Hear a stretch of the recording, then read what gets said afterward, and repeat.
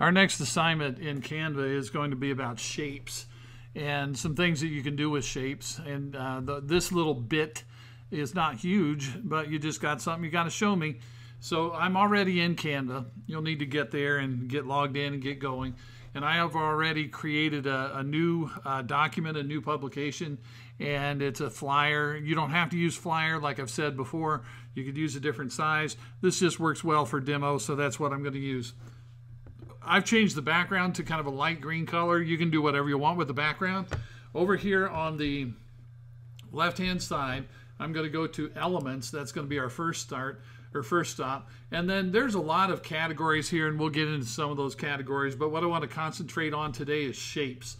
So I'm going to Elements, then I'm going to go to Shapes, and then I'm going to go ahead and do this little link where it says See All, and I'll click that and that shows me all the shapes that I can work with as I as I play around with this. Now, there's not a ton to this, but it's just one of those things we got to make sure we know, and you show me you can do it. If there's a shape that you want to use, just click it, and that will put it onto your publication, onto your document. Um, now, moving and sizing, of course, is easy. Just use your, if you're on your Chromebook, use your finger or your stylus, or if you have a mouse connected, that might be great. Uh, you can size them and make them a different size. You can move them around. Now, changing color, that's going to be pretty important because when shapes, usually when shapes get put on, they're just kind of a gray color and uh, you might want something better than that. So up here on the kind of the top left-hand side, there's a little box up there that says color, and I'm going to go ahead and click that, and now I've got some options here. All right. It has document colors, so if you're working with a document that has a lot of objects in it, it will kind of take samples and have those colors. Right now, all I have is is that green background color and the gray. Uh, it's got some default colors here, but of course you also have your um, you've got your color picker right here, so you can make it whatever color you feel like you want to do. Right? Okay, let's get some kind of yellowish goldish there. Looks pretty good. All right, so that's kind of where we start. You can just put shapes on there and you can move them and size them and color them and uh, you're kind of good to go. Now let's look at another thing that you can work with a little bit. I'll pop on a heart. I'll change the color of that heart and I'm going to move it like over here. All right. So another thing that you can do uh, is in this, uh, you can work with some buttons that are up on the top right hand side when you have a shape selected. Um, there is a button over here that has a, a plus sign and it says duplicate. So if you have an, and this works with other objects as well, but if you have an object here that you want to duplicate, you can click that and then you can, you've got a duplicate copy, right? So you can have more than one of something if you want to. There is also up here um, a, a, button for transparency. So if you click that, you could fade something out so it's quite not quite you know, it's faded out. It's not quite as visible. If I took that heart and laid it, oh well, it's in front. But um, there, I'll show you with that star. Um, if I laid that heart underneath over the star, you can see the star through the heart because uh, I lowered the opacity. So you have that option as well. I'm going to bring that opacity back up here a little bit. Um, now, we just kind of ran into something a moment ago there that I want to make sure that you know about. Uh, let's say that that I want to, uh, I don't know, it's like I'm making a, a logo or something, and I want to bring over this kind of shape right here, which I'm going to give, I'm rearranging some things real momentarily here. So I'm going to give that a color. And you notice how the document colors are building up as I've added that yellow and that red. It's looking at everything that's in the document and adding those colors. So I'm going to make that, uh, that shield kind of thing kind of an orangish color and I'm going to go back over here to, I'll just click off of the color palette and that will close it. And I'm going to get the lightning bolt and I'm going to size that lightning bolt down a little bit.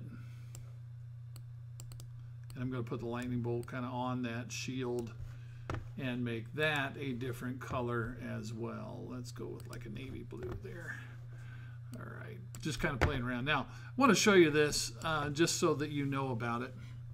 Um, let's say that that there you've got some shapes stacked up, and this is not going to. I'll, show you a better example as I go here, but um, I've got some shapes stacked up here, and they're not in the right order. They're not stacked up in the right order.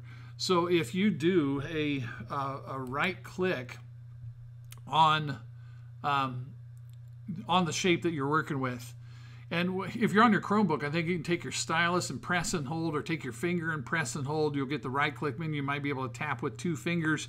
There's ways to right click. But if I say send backward here, you'll notice that that, that um, lightning bolt that I had disappeared, right? And it didn't really disappear. It's just behind the shield thing that I've got here. All right. I just wanted you to know how to do that. If you do a right click and, and I'll do a send backward there, and that will put the shield back behind the, the lightning bolt. So that's another little technique that you may want to know about. All right, here's the last thing I want to show you. Some of these, um, let's see if I can find a good example. I know that there are some down at the bottom. Here's one way down at the bottom. It, it just looks like a circle. But when you put it on, the last thing I want to show you on this segment, when you put it on, it's it's got two colors involved on it. It's got two tones of gray. It's a circle that has kind of has, kind of has a border or a stroke around it. All right, so what you would want to do here, eh, or if you want to, you can come up and you'll see on the color area, both colors are represented. So I would be able to come up here and say, well, okay, I want that outline color to be black, but over here I want this fill color to be, um, gosh, I don't know, let's go with like a green, not, no, green's not good. We'll go with a gold color there. So you'll you will find some, some even have three colors involved. And if you have chosen a shape that is a multicolored kind of thing, you'll notice more than one color box up there. So I want you to catch that. I want you to be aware of it. So what you have to do today is really something kind of like what you see here. Uh, I want a page or a layout that has at least five shapes on it that have been placed on there and you got them moved around, put them where you want to.